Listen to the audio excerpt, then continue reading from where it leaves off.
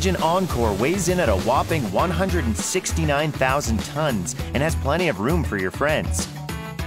With 20 decks and a total length of 333 meters, it sails to many destinations in the Caribbean and through the Panama Canal to Alaska. Its racing track is suspended 4 meters from the side of the ship. That earns the Norwegian Encore a solid 3 on our funometer.